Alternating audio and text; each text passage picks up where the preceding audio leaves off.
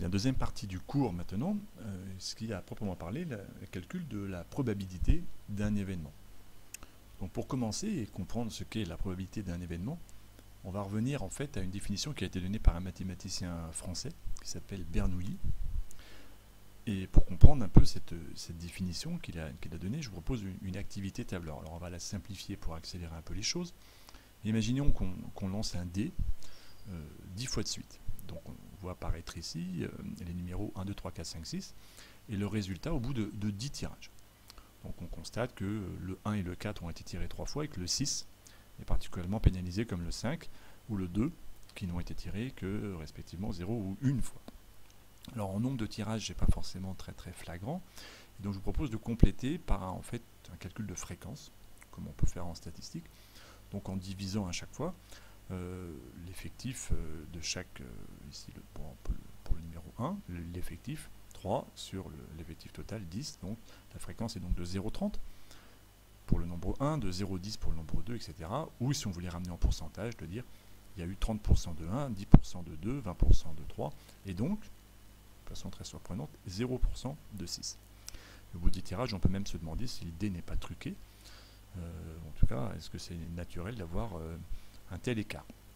Pour le savoir, on va augmenter le nombre de tirages on va passer à 100 tirages pour essayer de voir si les tendances se confirment. Donc, au bout de 100 tirages, euh, on voit donc le 1, le 2, le 19, le 3 est un petit peu remonté. Euh, pas très clair comme ça, simplement le nombre de tirages. Donc la partie fréquence est plus intéressante, elle permet d'y voir plus clair.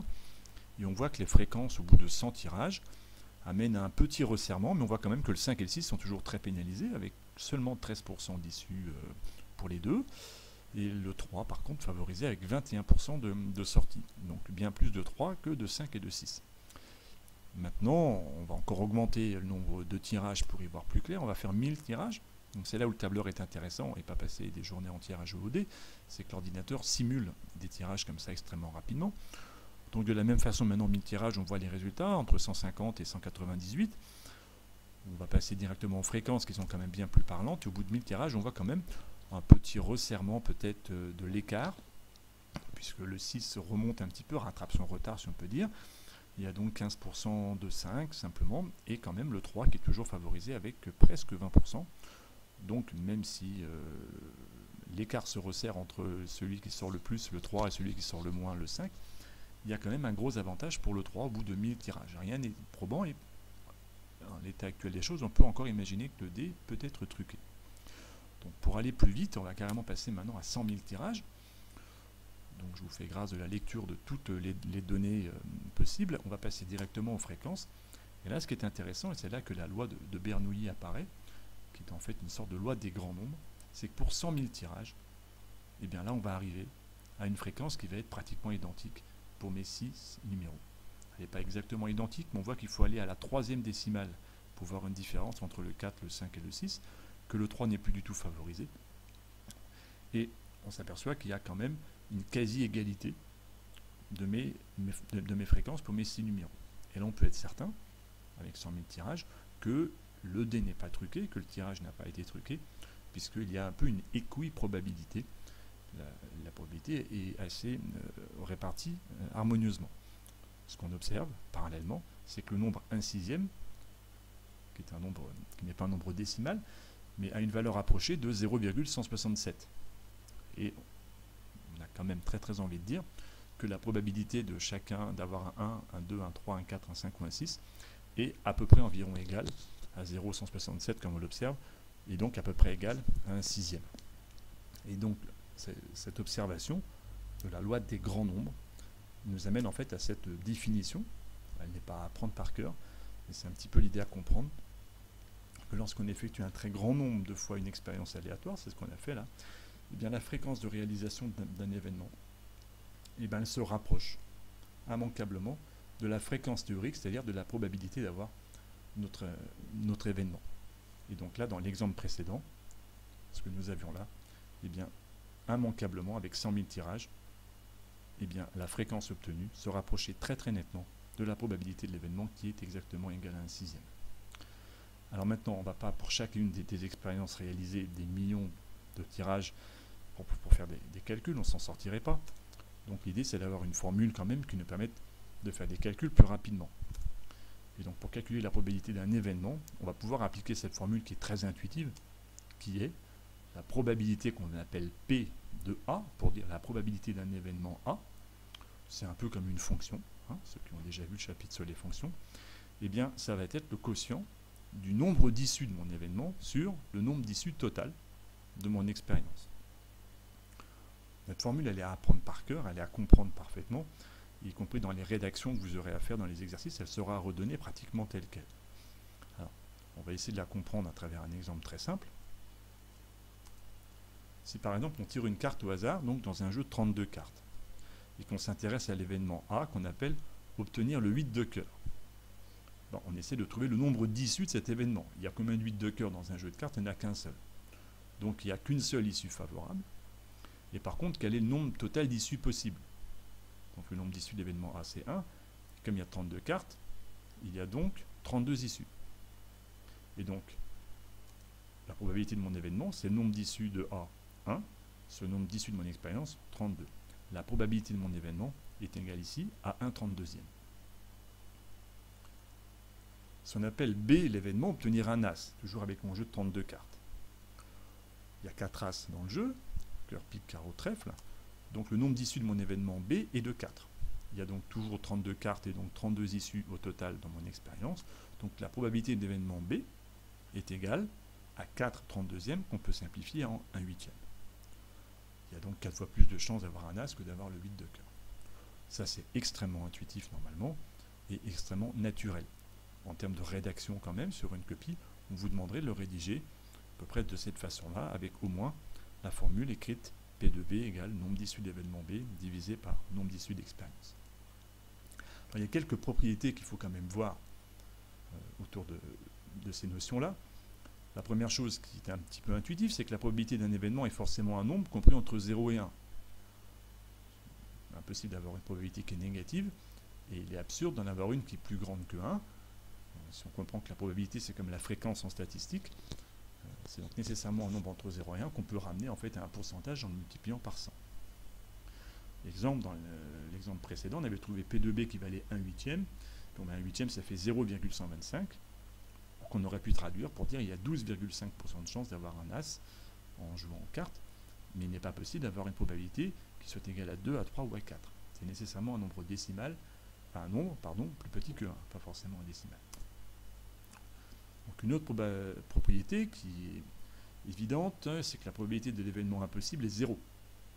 Si on calcule donc avec un D à 6 faces, si j'appelle C l'événement obtenir un 7, eh la probabilité de C est égale au nombre d'issues, eh bien 0, divisé par mon nombre total 6, est exactement égal à 0. La probabilité de l'événement certain est égale à 1, c'est-à-dire si je reprends toujours mon exemple d'un D à 6 faces, si j'appelle D l'événement obtenir un nombre inférieur à 7, bien, quel est le nombre d'issues de mon événement? Ben, Il y a 6 possibilités. Sur 6 possibilités, 6 divisé par 6, c'est égal à 1. La probabilité d'un événement, elle est exactement égale aussi à la probabilité des événements élémentaires qui le composent. Qu'est-ce que ça veut dire? Par exemple, je relance un dé à 6 faces. Euh, si j'appelle E mon événement, obtenir un 3 ou bien un 4.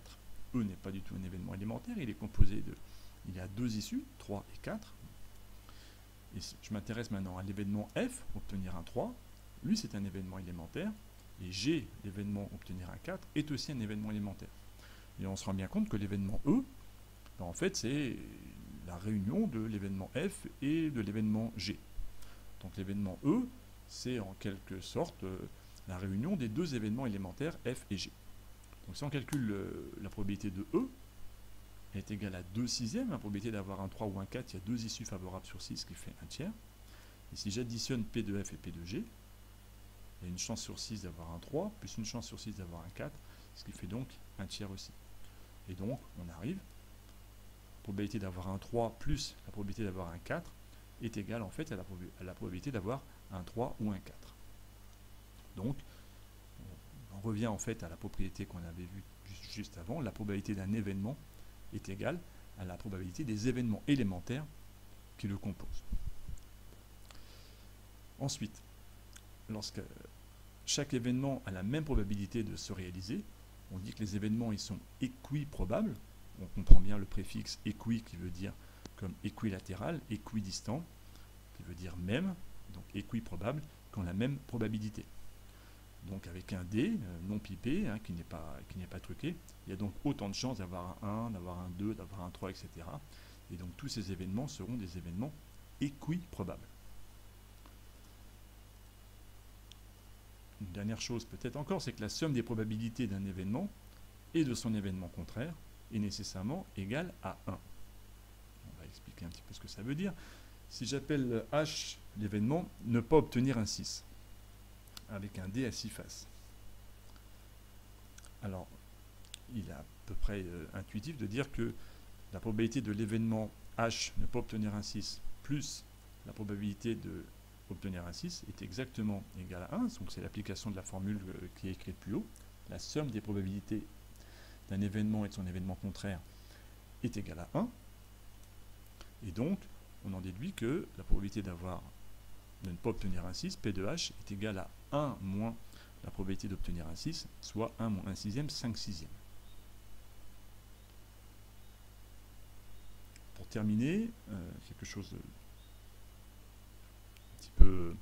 limite du programme, mais qui peut qui, servira en seconde et qui, qui peut quand même euh, arriver en, troisième, même si on est un petit peu limite programme, c'est ce qu'on appelle des expériences successives. À savoir, on va juste traiter d'un exemple rapidement. Si je lance une pièce de monnaie plusieurs fois et qu'on relève pile ou face à chaque tirage, je vais m'intéresser à la probabilité de l'événement obtenir deux fois pile en deux tirages. Et comment est-ce qu'on peut procéder pour déterminer comme ça lorsqu'il y a plusieurs tirages consécutifs? Et la stratégie, on s'arrêtera à ça en troisième, c'est de construire un arbre des expériences. Qu'est-ce que c'est qu'un arbre des expériences? C'est extrêmement intuitif. C'est un petit jeu de deux flèches. Je fais mon premier lancer, donc je pars du haut, et je vois qu'il y a deux issues possibles, pile à gauche, face à droite. une fois j'ai construit ça, je vais construire mon deuxième lancer, et donc, après mon premier pile, je peux refaire pile ou face. Et après mon premier face, je peux refaire pile ou face. Et on voit bien au final qu'il y a quatre issues à cette expérience. C'est-à-dire soit j'ai fait pile-pile, soit pile-face, soit face-pile, soit face-face. Mais il n'y a qu'une seule issue qui réalise véritablement mon événement A. C'est l'issue pile-pile. Donc au final, la probabilité de cet événement, nombre d'issues de A 1 et nombre d'issues totales de mon expérience 4. Donc la probabilité d'avoir pile-pile en deux lancers est de 1 quart.